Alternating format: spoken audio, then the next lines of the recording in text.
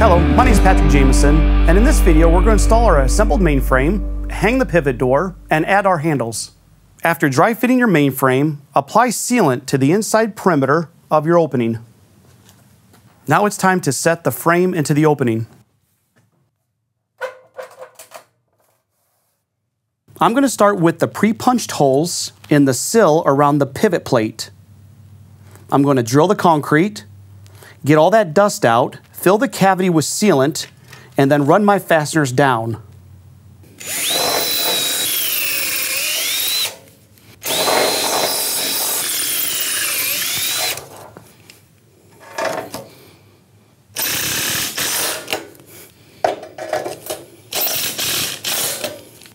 Ensure your frame is square, level, true, and plumb. Now we'll be fastening the header with these three punches around the pivot plate. Use shims at every fastener location when needed to support the frame.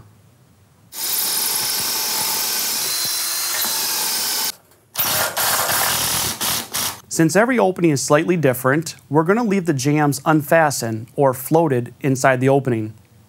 I have the header and sill fastened around the pivot plate.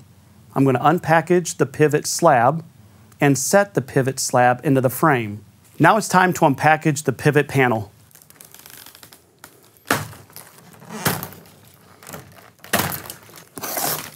We've now unpackaged our pivot door panel.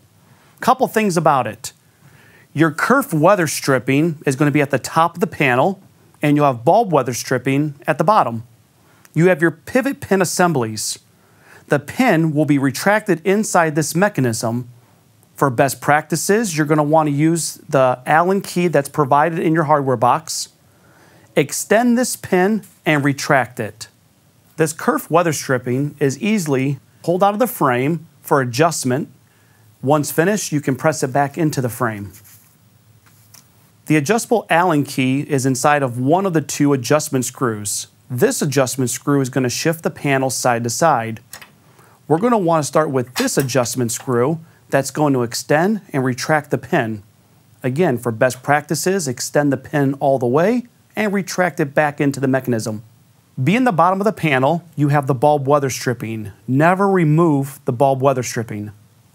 This little pin here is our speed adjustment. In the next video, we're going to use our wrench to adjust the speed of this door. For best practices, apply masking tape to the outside and inside of the panel. Mark where the pin is going to be located at, as it will be a lot easier to send the panel into the frame. Now it's time to set the panel upright. Because of the pin extended at the bottom, use something to support the panel to prevent damage.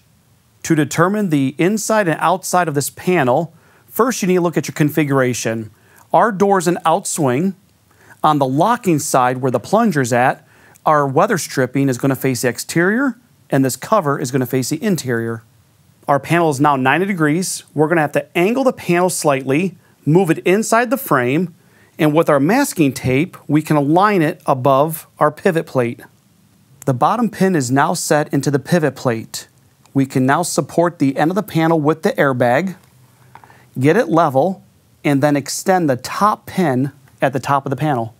The panel is level now with our airbag. I remove the kerf weather stripping. Now I'm going to extend the top pin into the mainframe all the way. I've now extended the pin until the adjustment screw wouldn't turn anymore. Now it's time to replace the weather stripping.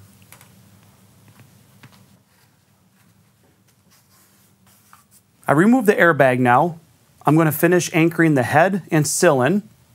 I'll keep in mind the frame needs to stay square, level, true, and plumb, and anchor both jambs into the block. Now it's time to install our handle set. Depending on the handle set you receive, follow the instructions and add it to your panel. After installation, apply the appropriate sealant to the exterior side of your frame.